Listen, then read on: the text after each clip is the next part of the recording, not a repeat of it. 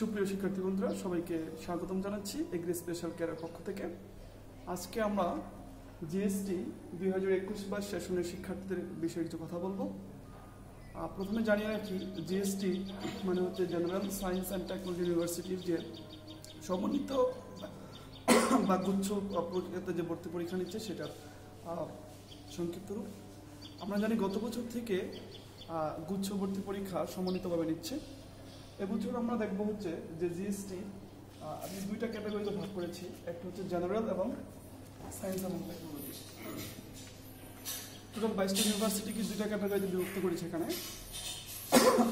এখানে যে র্যাঙ্কিংটা দেওয়া আছে, সেটা মোটামুটি একটা সামগ্রিক র্যাঙ্কিং বিশেষ করে আমরা ওয়েব মেট্রিক্সকে বেশি প্রায়োরিটি দিয়েছি।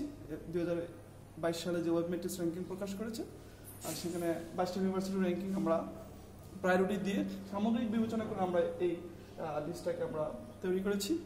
আপনারা প্রথমে দেখতে পারেন জেনারেল ইউনিভার্সিটির জন্য সর্বপ্রথম আপনারা চয়েস দিতে পারেন খুলনা ইউনিভার্সিটি দুই নম্বর চয়েস দিতে পারেন জগন্নাথ বিশ্ববিদ্যালয়।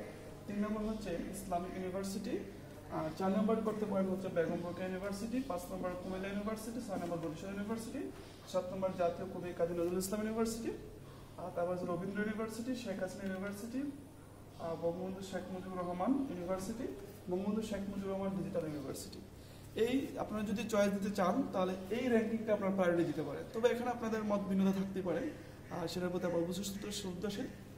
তারপর অনেকে যদি যার কাছাকাছি ইউনিভার্সিটি আপনি যদি কুমিল্লা থাকেন, কুমিল্লাকে একটু প্রায়োরিটি দিবেন স্বাভাবিক, ঠিক আছে? জেনারেল ইউনিভার্সিটি মোটামুটি এই- প্রথম দুইটি- দুইটা ছাড়া যদি আপনার বাকি ইউনিভার্সিটি যদি আপনার কাছাকাছি হয়, তাহলে আপনি মোটামুটি সেটাকে আগে প্রায়োরিটি দিতে পারেন, ঠিক আছে?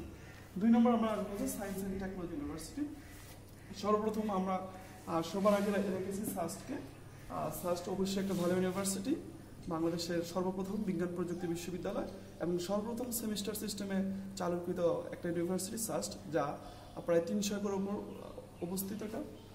দুই নম্বর হচ্ছে, এবার নোয়াখালী বিজ্ঞান ও প্রযুক্তি বিশ্ববিদ্যালয়, ওয়েব মেট্রিক র্যাঙ্কিং এ দুই নম্বর ছিল, এই জন্য আমরা দুই নম্বর রেখেছি, নোয়াখালী বিজ্ঞান ও প্রযুক্তি। এটাও মোটামুটি অনেক বড় ইউনিভার্সিটি, একশো এক একর। আর তারপর হচ্ছে মাওলানা বাসানী বিজ্ঞান ও প্রযুক্তি বিশ্ববিদ্যালয়।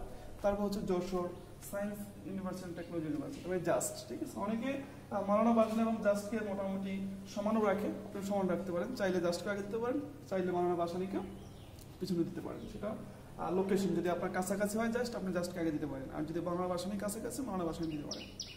তারপর হচ্ছে তবে জাস্টের আইপিটা খুব ভালো ঠিক আছে? একটু দেখবেন। যে আইপি আর হচ্ছে জাস্টের কেমিক্যাল কেমিক্যাল ইঞ্জিনিয়ারিং আর হচ্ছে আইপি ঠিক আছে? এটা খুবই ভালো ঠিক আছে? এটা একটু আপনারা ইয়ে করতে পারেন। তারপর হচ্ছে Patuakhali science and technology university এটা। তারপরে দিব হচ্ছে হাজি দানেশ বিজ্ঞান ও প্রযুক্তি বিশ্ববিদ্যালয়, তারপর হচ্ছে পাবনা বিজ্ঞান ও প্রযুক্তি বিশ্ববিদ্যালয়, তারপরে বঙ্গবন্ধু শেখ মুজিবুর রহমান বিজ্ঞান ও প্রযুক্তি বিশ্ববিদ্যালয়, তারপর হচ্ছে রাজশাহী বিজ্ঞান রাঙামাটি বিজ্ঞান ও প্রযুক্তি বিশ্ববিদ্যালয়। এটা এখানে সর্বপ্রথম সিএসসি দিয়ে তারা চালু করছিল দুই হাজার বারো সালে প্রতিষ্ঠিত, দুই হাজার বারো তেরোর দিকে তারা খুলছে এটা। তারপর হচ্ছে বঙ্গমাতা শেখ মুজিবুল হাসান বিশ্ববিদ্যালয় সায়েন্স অ্যান্ড টেকনোলজি বিশ্ববিদ্যালয়, তারপর হচ্ছে সবার লাস্টে যেটা চাঁদপুর বিজ্ঞান ও প্রযুক্তি বিশ্ববিদ্যালয়। আপনার এই এই র্যাঙ্কিংয়ে মোটামুটি আপনারা চয়েস দিতে পারেন। তারপর আমি যেটা বলব যে আপনারা কোন বিশ্ববিদ্যালয়টাকে আগে রাখবেন, সেটা ডিপেন্ড করবে হচ্ছে আপনার নাম্বার উপর ভিত্তি করেন আপনার নাম্বার যদি মোটামুটি একটু কমে হয়, পঞ্চাশের নিচে হয়, তাহলে আপনি একবার লাস্ট ক্যাটাগরি ইউনিভার্সিটি অ্যাপ্লিকেশন করতে পারেন। আর যদি আপনার যদি মার্ক যদি অনেক বেশি থাকে, ষাটের উপরে থাকে, তো মোটামুটি আপনি ফার্স্ট ক্যাটাগরিগুলো অ্যাপ্লিকেশন করতে পারেন। আর যদি আপনার রেঞ্জ যদি পঞ্চাশ থেকে পঞ্চান্নের ভিতরে থাকে, তাহলে আপনি মিডল রেঞ্জেগুলো করতে পারেন। ঠিক আছে? অথবা পঞ্চান্ন থেকে ষাটের ভিতরে তখন আপনি মিডল এবং যেগুলো ভালো সেগুলো করতে পারেন। আমরা এই ভিডিওতে মোটামুটি বাইশটা ইউনিভার্সিটির পরিচয় সম্পর্কে জানলাম। আমরা নেক্সট ভিডিওতে সিরিজ ভিডিও আমরা ইয়ে করব। যে প্রত্যেকটা ইউনিভার্সিটি নিয়ে আমরা আলাদা আলাদা ভিডিও করব, যে কোন ইউনিভার্সিটি কত মার্কস লাগতে পারে বা কোন ইউনিভার্সিটি কত ইয়ে করতে পারে, ঠিক আছে? এটা আমরা আস্তে আস্তে আমাদের নেক্সট ভিডিওগুলোতে আমরা ইয়ে করব, আমাদের সাথেই থাকুন পরবর্তী ভিডিওর জন্য।